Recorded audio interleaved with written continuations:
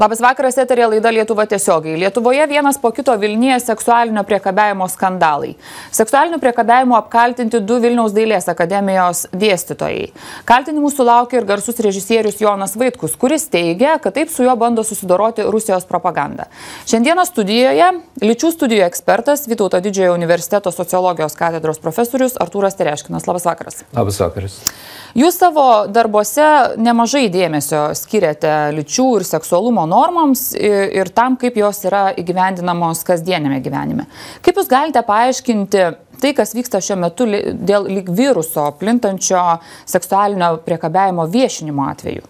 Aš tai manau, kad čia nauja banga iš tikrųjų feminizmo ir moterų uh, judėjimo, kuris pakeis lyčių santykius, pakeis seksualumo normas, elgesio normas, ypač darbo aplinkoje, universitetinėje aplinkoje, tose tokiuose oficialiuose uh, aplinkose, nes manau, kad ta banga, kuri prasidėjo Amerikoje ir kuri nuvilnijo po visą pasaulį ir, ir, ir Lietuvoje, tai tikrai yra didžiulis pokytis požiūrėje į moterį. Uh, nes uh, išaiškėjo, kad iš tikrųjų vyrai uh, žiūri moterį labai, kaip sakyti, tokiu uh, iš aukšto, ją niekina, dažnai sudaiktina, mano, kad su ją galima elgtis kaip, kaip tik nori. Visi tie dalykai, manau, kad turės pasikeisti. Tai jūs, jūs esat kažkada minėjęs, kad Lietuvoje feminizmas yra toks labai silpnas ir susiskaldęs. Tai ar tai, kas dabar vyksta, iš esmės keičia situaciją, ar tai gali virsti kažkokiu, nežinau, politiniu arba socialiniu judėjimu netgi? Aš manau, kad e, turėtų virsti politiniu, galbūt socialiniu labiau judėjimu ir pakeisti apskritai ir teisinės normas turėtų keisti ir uh, socialinės normas, kaip mes elgiamės, ypač darbo aplinkoje. Nes kol kas uh, mes neturime aiškių kriterijų, kas yra seksualinis priekabiavimas, kas yra seksualinis smurtas ar prievarta. Uh, kas yra flirtas, visi tie mhm. dalykai labai sunkiai atskiriami ir dabar žmonės ima aiškintis, kas tai yra. Bet tai yra labai tokios plonos ribos. Ta prasme, kaip atskirti, kas yra flirtas ir kas jau yra seksualinis priekabiavimas. Kaip jų neperžengti, kaip Jūs manote? Taip, aš manau, kad plonos ribos, bet e, tos ribos labiau egzistuoja, pažiūrėjau, neformalioje aplinkoje. Flirtas, tu gali flirtuoti bare arba kur nors, ar nežinau, šokių, šokių klube ir jeigu mergina pasako ne, tai tu suvoki, kad tai yra ne, bet, bet e, ten flirtas yra daug laisviau uh, išreiškiamas ar leidžiamas, bet darbo aplinkoje ar universitetinėje aplinkoje tai yra, turėtų būti draudžiama tas, tas flirtas, nes aš turiu pavyzdžių iš savo praktikos, nes studijavau Amerikoje ir dėšiau viename iš kolegijų Boston Emerson College ir prieš prieš kiekvieną dėstymą aš turėjau pasirašyti, kad aš susipažinau su seksualinio priekabiavimo ten taisyklėmis ir kad aš mhm. žinau, kad negalima to daryti ir jeigu, jeigu, kas, jeigu aš tą padaryčiau, aš būčiau nubaustas. Bet tai nereiškia, kad tai kažkaip varžo e, studentų ir dėstytojų santykius, nes, pavyzdžiui, mus kaip doktorantus dėstytojai kviesdavosi ir į barus, bet ne po vieną, aišku, ir kviesdavo į namus, pavyzdžiui, vakarienės ir panašiai. Tai manau, kad, kad va, tokie, toks reglamentas ar kažkokios normos darbo vietoje būtų labai gerai, kai e, dėstytojai, tie, kurie yra galios pozicijoje, žinotų, ką, ko galima ar ko negalima daryti. Iš jūsų aš suprantu, kad e, tai, kas vyksta dabar Lietuvos aukštosiuose mokyklose, tai vakarų universitetuose apskritai turbūt būtų sunkiai įmanomas dalykas. Taip, sunkiai įmanomas, nes, nes tikrai ten kiekvienas universitetas turi tą reglamentą, turi tas taisyklės, netgi yra tam tikri mokymai uh, prieš pradedant dėstyti uh, apie seksualinį priekabiavimą ir visi kiti dalykai.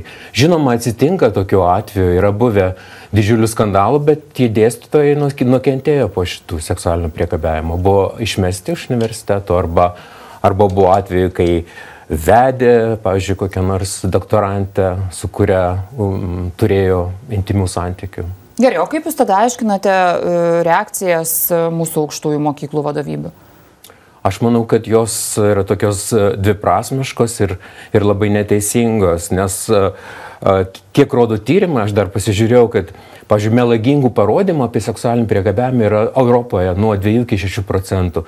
Vadinasi, netikėti tomis merginomis ar moterimis, kad prie jų buvo priekabiaujama, iš tikrųjų yra a, labai nu, neteisingas žingsnis. Dėl to manyčiau, kad turėtų būti įmamasi griežtesnių, griežtesnių priemonių. Kita vertus, tos merginos netgi e, didžioji dauguma neanonimiškai tai daro. Jos viešina ir tai. savo vardus ir pavardės. Tai jau viešinant vardą ir pavardę jau rizikuoji, jeigu meluosi ar ne pats taip, taip, e, taip, turėti taip, taip. didelių problemų. Jūs esate sakęs, kad mes gyvenam labai konservatyvioje, griežtas vyriškumo ir moteriškumo normas palaikančioje visuomenėje, kurioje protestuoti prieš, e, prieš tas normas dažnai reiškia ne tik patirti fizinį smurtą, bet ir būti socialiai marinamam, tai yra socialiai nematomam ir nepripažįstamam. Kodėl mhm. taip yra? Tai e, manyčiau vien dėl to, kad vyriškumas arba vyrai yra tokio vyraujančioje, dominuojančioje pozicijoje ir moteris, kad ir kokią jinai poziciją užimtų, jinai dažnai laikoma antrailė, antrailė būtybė. Ir kadangi jinai yra antrailė, prie jos priekabiauti daug lengviau. Ir, ir ta tokia konservatyvi ideologija labai dažnai, dažnai platinama pas mus, kad moters vieta yra šeimoje, kad jinai turi kažkokių kitų įsipareigojimų nei vyrai, kad uh, kad jinai yra silpnesnė ir panašiai ir panašiai. Vat visi tie įsitikinimai uh, padaro moterį labai pažeidžiamą ir, ir le, lengvai prie, prie jos priekabiauti. O jūs čia aiškinate kaip kažkokią, nežinau, istoriškai uh, atkeliavusią nuostatą, ar čia yra šių... Čia yra istoriškai atkeliavusi nuostata, kurios nesugebėjau pakeisti nei feministiniai judėjimai, uh, netgi jeigu kalbėtume, pažiūrėjau, apie darbo užmokestį, kad moteris mm. gauna už tą patį darbą žemesnį atlyginimą. Tai manyčiau, čia istoriškai susiklostė. Dabar plačiai labai kalbama apie kitą tokį reiškinį, kuris vadinasi toks, toks, toksiškas vyriškumas. Ir manoma, kad tai yra nu, 20-ojo amžiaus padarinys, tai yra tokių nepatenkintų uh, viduramžių, vidutinio amžiaus vyrų vyriškumas, kai jie nori to, ko jie negali turėti mhm. ir tada negalėdami turėti išreiškia savo frustracijas įvairiom, pavyzdžiui, smurto formom, neapykantos formom, įvairiom fobijom ir panašiai. E... Pakalbėkime apie reakcijas, ar ne, kokios jos yra po tų paviešintų uh, galimų seksualinio priekabiavimo atvejų. Aš jau minėjau vieno iš kaltinimų sulaukusio e, garsaus režisieriaus Jono Vaitkaus.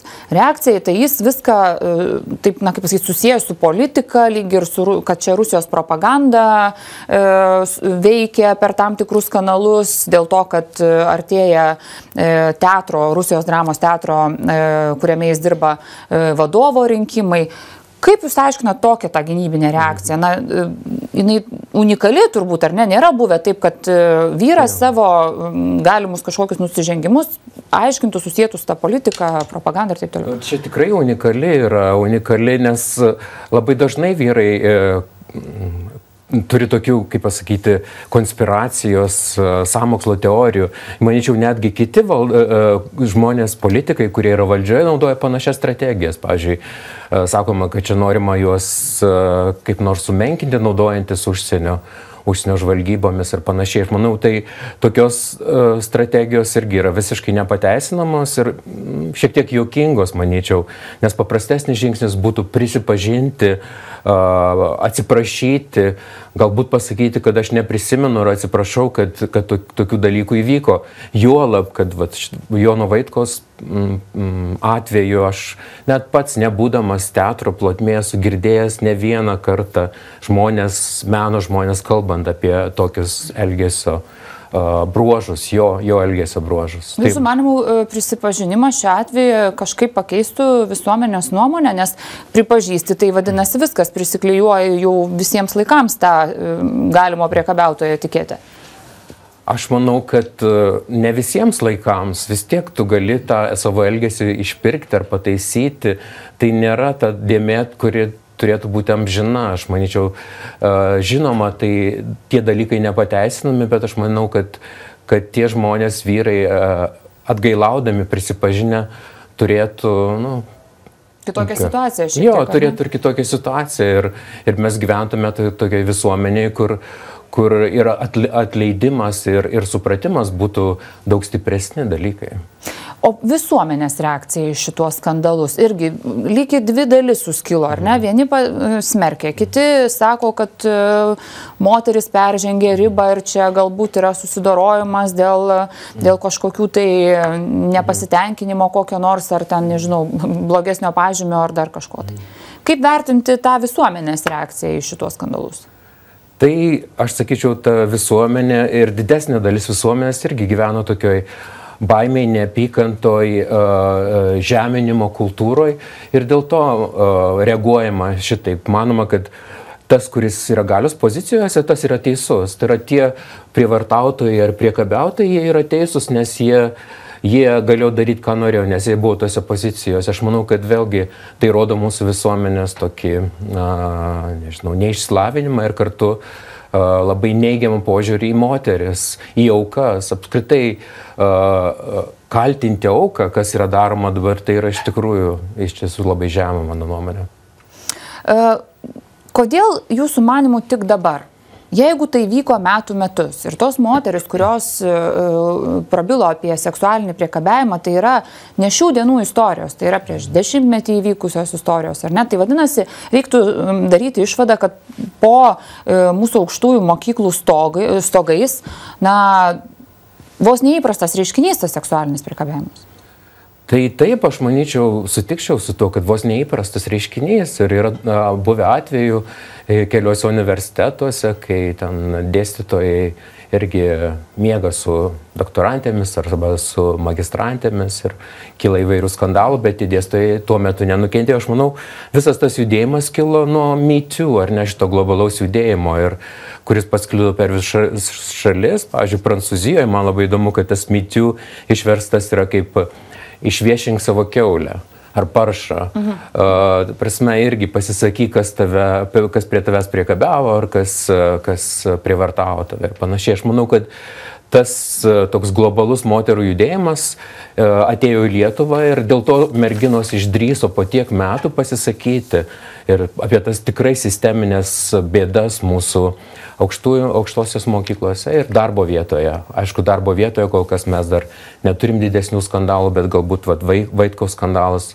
rodo tą darbo vietos e, seksualizavimą, darbo vietos priekabiavimą. Sakykite, ar pakanka šiandieną teisės aktų, kurie gintų e, aukas šiuo atveju seksualinio priekabiavimo? Jūsų manimo, kaip nagrinėjusio šitą, e, šitą problemą plačiaja prasme? Aš manau, kad e, aš nesu teisininkas, bet manau, kad nepakanka. Ir, ir, ir dėl senaties termino, kad, pažiūrėk, įvairiose šalise yra jis skirtingas. Yra, girdėjau, kad Lietuvoje yra trys metai senaties terminas seksualinio priekabiavimo ir prievartos požiūrių. Pavyzdžiui, Amerikoje seksualinio smurto požiūriu tik tai vieni metai, jeigu tu nepraneši, tada labai sunku yra a, įrodyti savo kaltes. Manyčiau, reikėtų keisti tą sistemą ir, ir a, į, įgyvendinti kažkokius kodeksus ar ne. Kiekvienoje darbovietėje, universitetuose galbūt uh, labiau į tai turėtų atsižvelgti lygių galimybių kontrolieriaus tarnyba, kuri turi antidiskriminacinius įstatymus. Bet atrodo, lik ir galioja pas mus akademinė etika toks dalykas, ar ne? Tai taip, neveikia, taip, vadinasi, neveikia taip, visiškai. Vadinasi, neveikia, ar ne? manau, kad e, toj akademiniai etikoje nėra išskirtas tas seksualinio priekabiavimo aspektas, kurį reikėtų dabar labai aiškiai įrašyti. Ar jūsų manimo po visų šitų paviešintų atvejų situacija gali iš esmės pasikeisti? Uh, viena vertus aš esu pesimistas, bet kita vertus, matydamas tą tokį, e, tokį didžiulę srovę tų prisipažinimų, aš manyčiau, kad tikrai turės keistis ir pasikeis. Jo, aš šito požiūriu tikrai esu optimistas. Vadinasi, pasikeis ir, ir, ir požiūris į moterį ir keisis apskritai moters vaidmuo visuomenėje, kuris padarys svarbesnės ir Ačiū Jums už pokalbį, Arturai. Ačiū, Ačiū, kad atvykote. Šį pokalbį galite matyti portale lrytas.tv ir skaityti portale lrytas.lt. Visą geriausią.